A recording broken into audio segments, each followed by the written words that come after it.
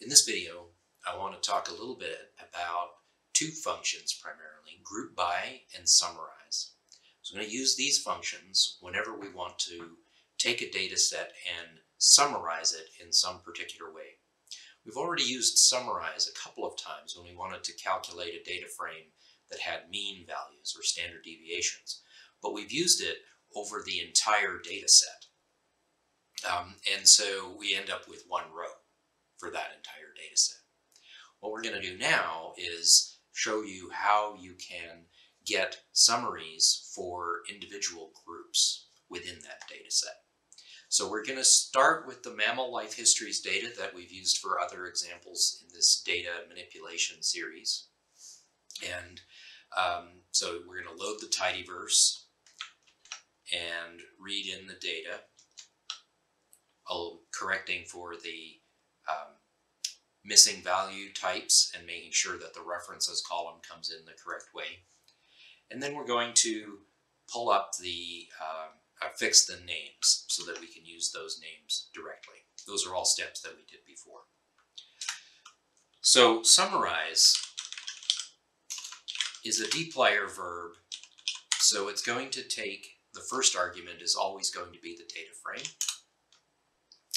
And, and then we use it much like mutate in that we're going to be calculating uh, summary statistics across those uh, different values. So uh, for the case of the mean, let's say we want mean mass, we would simply say mean um, mass dot g um, and we might also want to get the sample size so that's going to be with the convenience function n. And let's say we also want the standard deviation.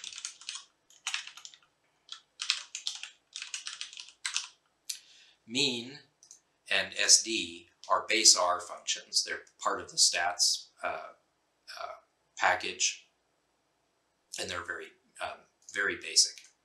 So let's see what we get when we run that. Uh, oops, I'm getting missing values. Um, that's because I forgot that there are missing, there are some species that have missing values. So um, rather than filter them out, I'm going to use na remove equals true. Actually, this is going to give me the wrong answer, I think. Let's see.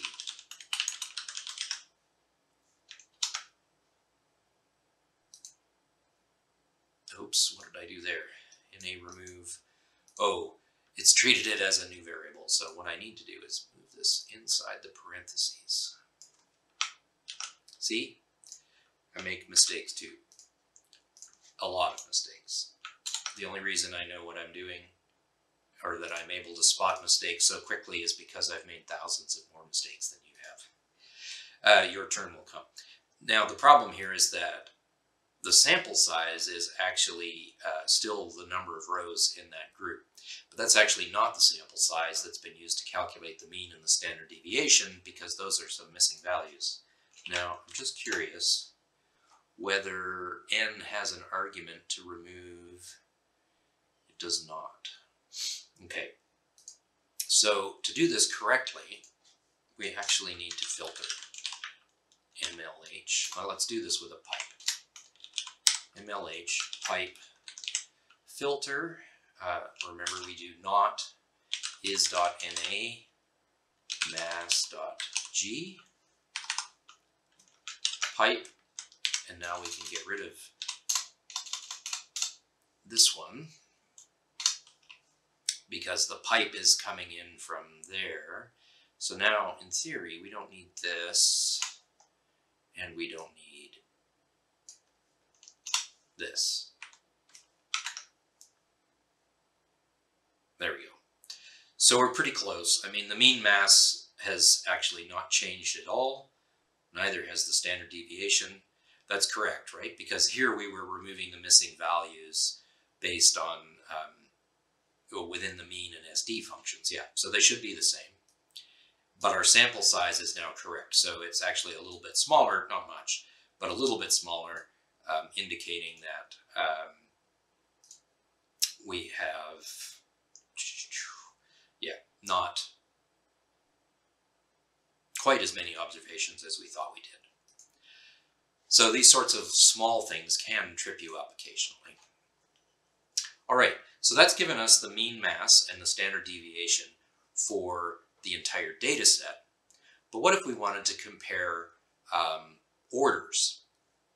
So we're interested then in what orders have, uh, what the, the mean mass is by order. So what we would need to do is um, add another step into our pipe. Um, I'm going to do something here just to make it a little easier to read. There's a really handy thing under the code menu called chop, chop, chop, chop, no, no, no, code, here it is, re-indent lines. Um, so what that will do is, uh, let's say you've been manipulating some code and you've ended up with something that's maybe not that easy to read.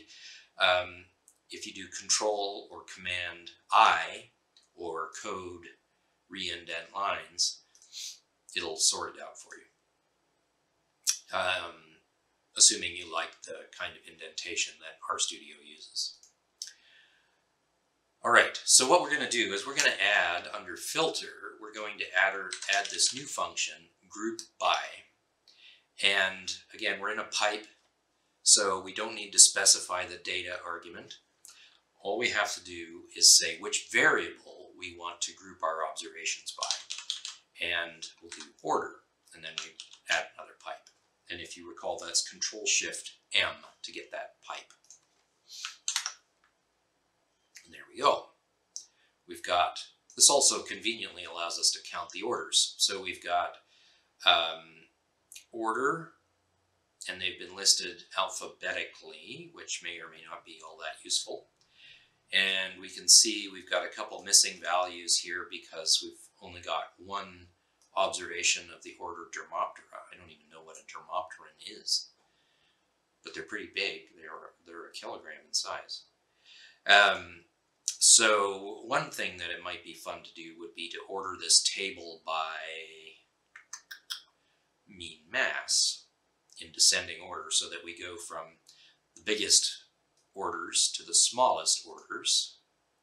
And we can do that after this point.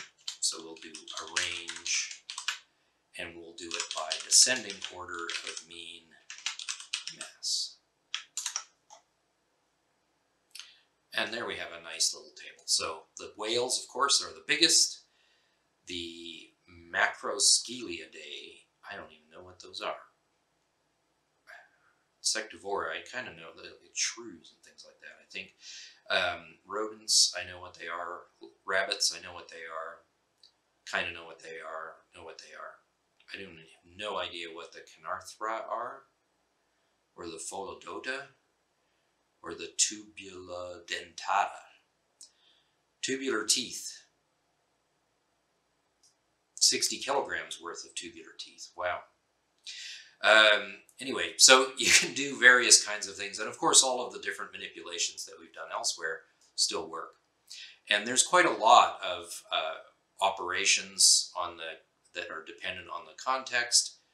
Um, we can do uh, this list uh, under, you know, question mark n gave us a whole bunch of things where it will pull out various functions that will pull out different things about um, values for the current group uh, or even the uh, all of the groups if that's what you want to know about. Um, but those are sort of more complicated things.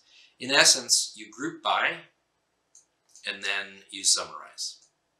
And that's go and those two together are always going to give you back a tibble. Um, and I think the result, let's see, let's assign this result to orders by mass.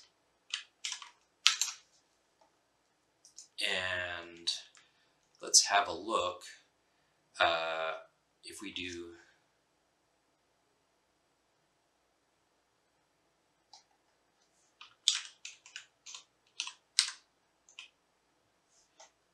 grouped df orders by mass. It is not. So the summarize removes the grouping structure that you had put there. And so under different sorts of circumstances, you might want to do um, another group by, for example.